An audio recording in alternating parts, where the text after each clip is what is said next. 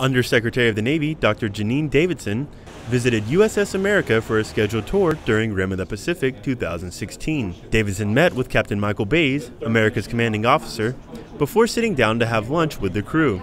Sailors and Marines were able to talk about their experiences aboard America, the first of its class, and share ideas and concerns for the future of the Navy.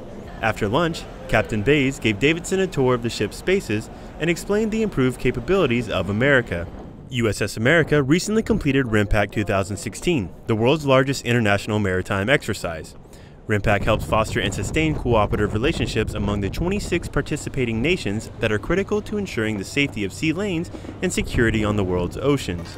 Petty Officer Michael Rainey, USS America.